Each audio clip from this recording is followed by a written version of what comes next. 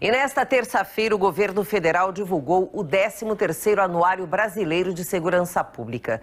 Os dados mostram que os casos de feminicídio aumentaram quase 5% no país. Mas quando falamos apenas do Rio Grande do Sul, os números são bem piores que a média nacional.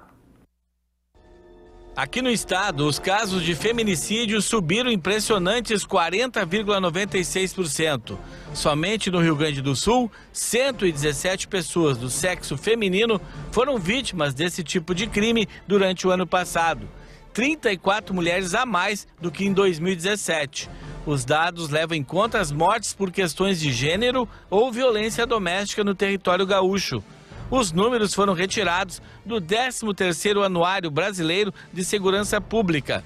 Com isso, o Rio Grande do Sul ocupa a ingrata terceira posição entre os estados que mais registram feminicídio no país.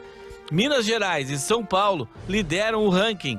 Em compensação, o relatório de segurança pública também aponta que o número de homicídios reduziu mais de 20% em solo gaúcho. Ano passado, foram 615 casos a menos do que em 2017.